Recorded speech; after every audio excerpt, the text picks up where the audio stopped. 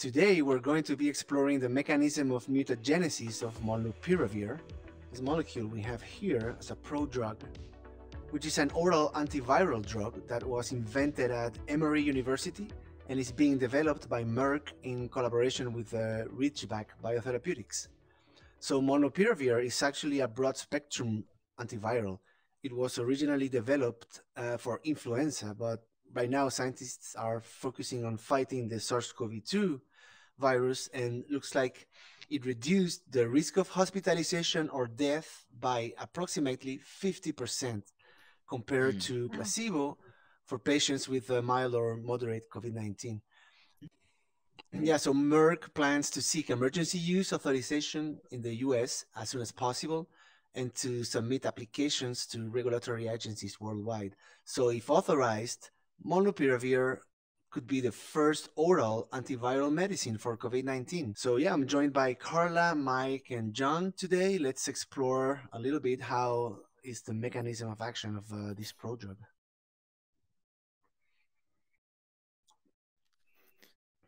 Yeah. Hi, Daniel. This is great. Uh, you know, it's really exciting to see this molecule up close, and we see it's got an ester on here. And you know, the ester can can help molnupiravir uh, cross cell membranes, uh, but eventually it gets cleaved to the alcohol by carboxyl esterases in, in the human body. And that itself is also a prodrug. So that's this compound here. And this compound is really interesting because it's very, very closely related to one of our natural nucleosides and the virus's natural nucleoside, uh, cytidine, which we have up here. But this has this hydroxy group on it. And this hydroxy group allows it to, at times, mimic the hydrogen bonding of cytidine, but also mimic the hydrogen bonding of uracil. And I know you're going to show that uh, in a structure in just a minute. Um, John, do you want to talk a little bit about incorporation? Because this is not a, a normal uh, protein uh, inhibitor. It's a different kind of molecule. Oh, yeah. So the really cool thing is, and I, think thinking about molnupiravir, like we all thought remdesivir was going to kind of come in and really provide this antiviral support in acute cases, and we all got really excited. And it, it didn't quite fall through the way that we were hoping to, but it targeted the same protein. And if we, when we look at the protein, uh, and Daniel described it correctly, this is about mutagenesis. This is about this gets fully incorporated into the strand, and due to being able to match both purines and pyrimidines, it's able to kind of cause some confusion when trying to replicate the strand. Whereas when we look at um, something like remdesivir, its job is actually to go in and to bind to be able to be incorporated shortly, but then bind to the polymerase in the palm region typically and that prevents the elongation of the strand and eventually prevents the virus from being able to capably replicate. So in molnupiravir's case, it's a really cool idea of instead of saying, let's just stop replication, it, it goes into saying like, well, what if if it did get to replicate, it could only replicate poorly.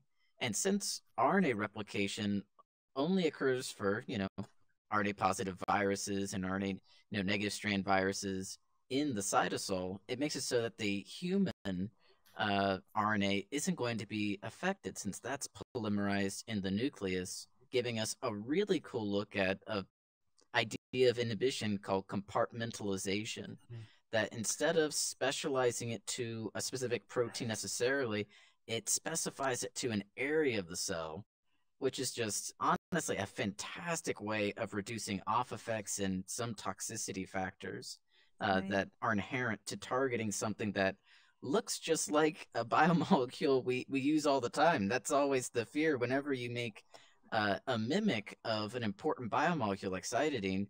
How are you going to prevent it from really just messing with everything in the cell?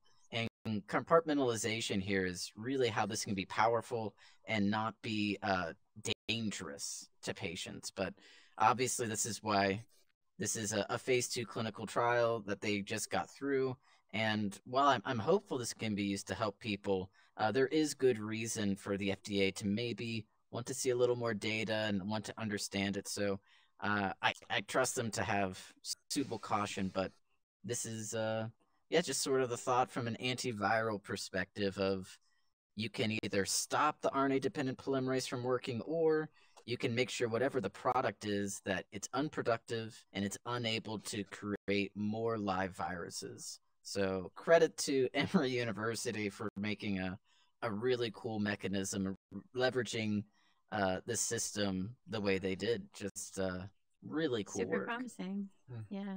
Absolutely. Cool. Let's show the structure of the RNA polymerase actually that we have behind us right now so we can see how it interacts. We have here in blue the RNA template and uh, in red is the RNA product. And some of the domains are colored here in the polymerase, the NSP7, NSP8, and NSP12 domains. And so if we scale up the molecule, we can get inside and explore a little bit. We see in white over here, we have molnupiravir. It's bound. We see three hydrogen bonds to the guanine up there and some covalent bonds over here. So yeah, Mike, did you want to make some additional comments on how this works over here? Or whoever? Carla's deep in the pocket, so why don't I hand it over to her? Sure. Yeah. Yeah. Go for it, Carla.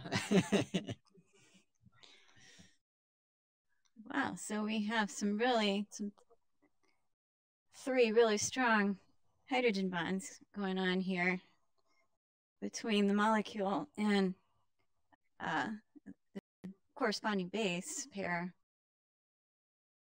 It's pretty amazing. Now, this is the one that it would normally pair with if it were cytidine, but do we also have an example of where it it would pair as if it was uracil? yeah, do we have an Where adenine makes- pair? Yeah, so I think we have another structure where we have adenine pairing with the uh, hydroxycytidine that molnupiravir put in here. See how it gets incorporated. Yeah. But yeah, overall, just real briefly, this is this is the awesome difference. You can see it looks just like a nucleotide that's been added in. There's no additional kinks or problems that will prevent this from being able to replicate completely. Um, it's just that, as we'll show, the adenine versus guanine, you know, it doesn't have a preference in a lot of ways. Is really the uh, the really interesting trick that it's sort of Right. using to uh, to do that. Right, it's a cytidine analog, right?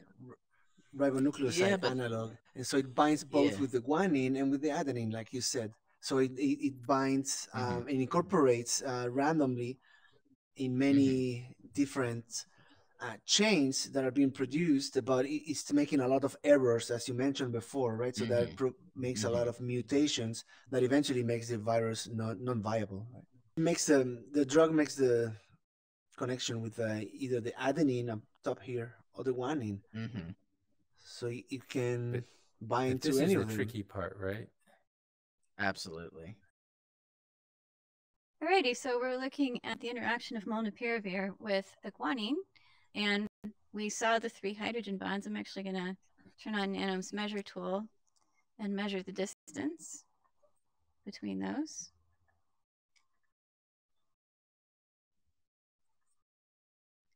It turns those out that nice. molnupiravir can actually, with this hydroxylamine, Mm. form a tautomer, and that's actually how it um, interacts with an adenine and can couple that way.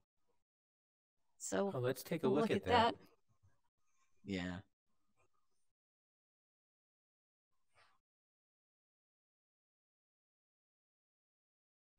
There you go. right adenine. here. Mm. And I'm going to delete the other distance.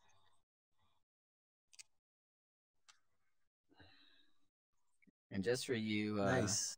people at home looking at hydrogen bonds thinking 3.5 is too far, uh, my advice is always, yeah, to maybe subtract about 0.8 off of these measurements to account for the hydrogen that we aren't seeing at the moment.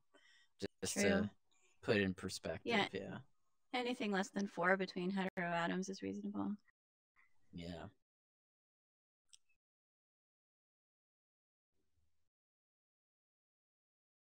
All right. Oh, Did we have a see that PDF we want to look at? Or? We Yep, can I see, see the, the toner toner you're you're talking, talking about, about. Carla. Yeah. Exactly. Well, it's really cool to me that it was able to switch, you know, from this being a hydrogen bond donor to an acceptor to really accommodate, uh, you know, the the change in the profile of the the purine uh, on the other side, and just being able to be flexible in that way. You're you're sort of getting, you know, two drugs for the price of one, and that's uh, It's pretty it's just brilliant. really cool. Yeah. Yeah. It's a great design. Well, a good thing is that oral, question. right? So people can take this drug at home rather than Exactly. taking it uh, Right. IV Oh in the my hospital. So it's much much better this way. huge. Yeah. It's Mhm. also One, preventative from what I read. One, even on top of that, like hospitals not having to necessarily, you know, have them in the, you know, in the bed, in the room for them, being able to really reduce the stress on healthcare in other ways. It's a, it's a great point Of point. course. Yeah.